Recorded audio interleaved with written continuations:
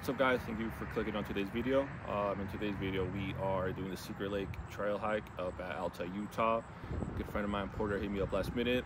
Um, quickly drove up to Salt Lake, met up with him, brought my film camera, uh, and I brought Portra 400 with me. Uh, unfortunately, I only brought one roll. Uh, it was a Sunday, so no other film stores uh, were open. So and I just took photos the whole way up. Uh, managed to capture a lot of good images, in my opinion. But yeah, hope you guys enjoy.